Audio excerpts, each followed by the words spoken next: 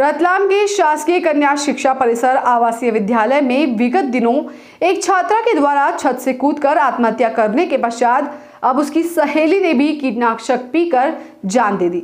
उल्लेखनीय है कि पूर्व छात्रा की मौत की गुत्थी अभी पूरी तरह से सुलझी ही नहीं थी कि अब उसकी सहेली ने भी कीटनाशक पी लिया।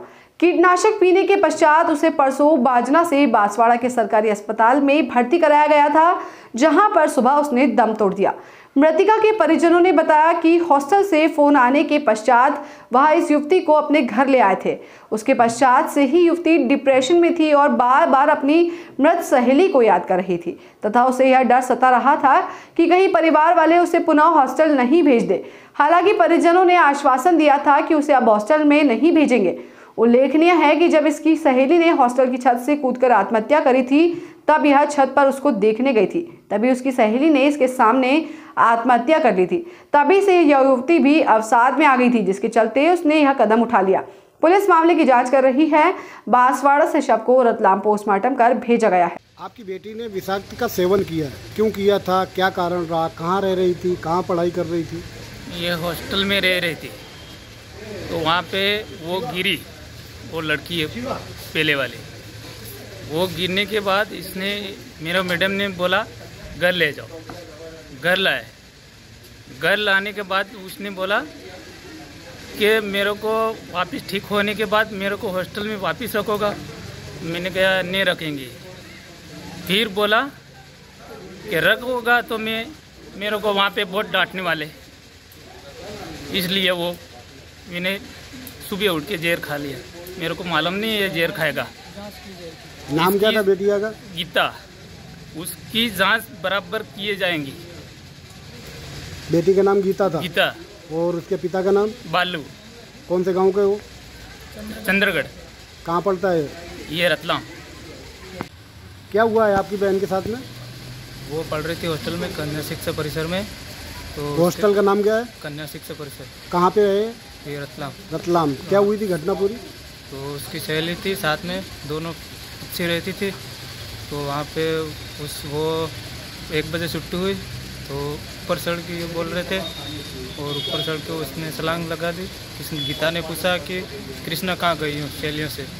तो उस, मैंने उस उसको घर पे आते पूछा था कि क्या हुआ था? तो उसने बताया कि वहाँ पे मेरी सहेलियों ने मैंने पूछा कृष्णा कहाँ गई? तो उन्होंने बताया कि ऊपर है वो। तो ये गई ऊपर गई इतनी देर में तो उसने सलांग मार दी फिर इस, उस, इस गीता से और कृष्ण को मुलाकात नहीं हुई। बात नहीं करने मिली। फिर वो वो घर पे आई तो रात को फ़ोन लगा मेरे को, मैडम कि गीता को तबीयत ठीक नहीं घर पे ले तो मैंने बोल, मैंने घर मेरे पापा के ऊपर फ़ोन लगाया तो ये गए लेने के लिए, और फिर ये लेके आया तो पूछा हमने कि क्या हुआ, तेरे को क्या हुआ, वो तो मर गई तो मर गई। तो फिर उसने बताया कि मेरे को दूसरा कुछ भी नहीं, नज़र नहीं आ रहा है। सिर्फ़ कृष्णा दिख रही, वो गिरी, वो, वही दिख, नज़र आ रही और मेरे को हॉस्टल ही नज़र आ रहा, दूसरा कुछ भी नज़र नहीं। फिर उसने बोला, शाम को घर पे आके हमने करवाया थोड़ा टोकटा, टोटका वगैरह। फिर उसने बोला कि मेरे को हॉस्टल तो नहीं रखोगे, वापस तो मेरे फादर ने बोला कि नहीं रखूँगा, अब हॉस्टल दूसरी जगह परीक्षा दे, देवा दूँगा यहाँ। फिर उसने बोला कि मेरे को वापस रखोगे तो फिर मुझे बहुत डर लग रहा है। इसका मतलब क्या होगा? इसने मना क्यों बोला? इसका जवाब सही है। तो इसने जहर कब पिया? जहर इसने सुबह उठ के जहर पी ली। नाम क्या था उसका? गीता। गीता। और उसके पिता का नाम? बालू डोडियार मैं उसका भैया हूँ सुनील डोडियार।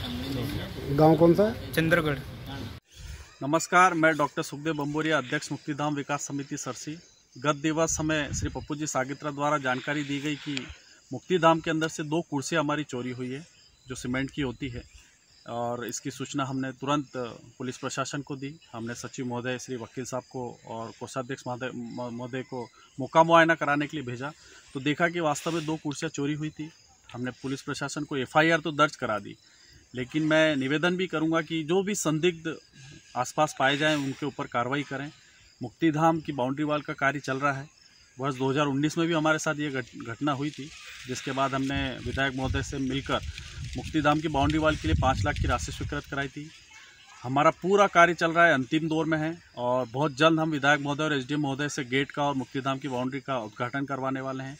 मैं उनको धन्यवाद दूँगा जो पुलिस प्रशासन के पास गए थे, श्री विनोद जी खारोल, मुकेश जी बम्बोरिया, अशोक जी पपोंडिया, नानू सेठ पालीवाल जी, कन्हैया सुमत्रा और जो भी हमारी समिति के सदस्य जो रात दिन मेहनत करते हैं और उस मुक्तिधाम के लिए सामाजिक गतिविधि करते हैं, मैं उन्हें बहुत बहुत धन्यवाद दूँगा। और भविष्य में ये भी गाँव में मैं आशा करता हूँ कि सभी लोग मिलजुल कर इस सामाजिक कार्य में आगे आएँ और हम हमारे गाँव की मुक्तिधाम को और हमारे गाँव के विकास को बहुत ही ऊँचाइयों पर ले जाएँ। Bureau report.